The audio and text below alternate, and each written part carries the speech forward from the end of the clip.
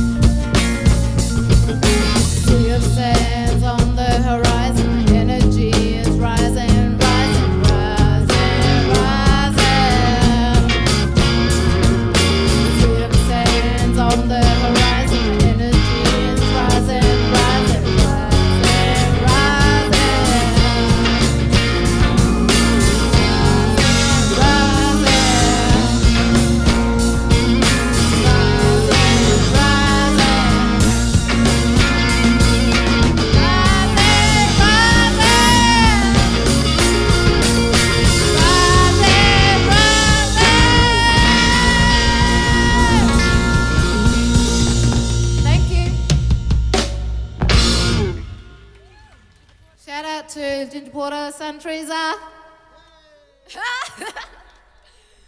All right, Kala, see ya.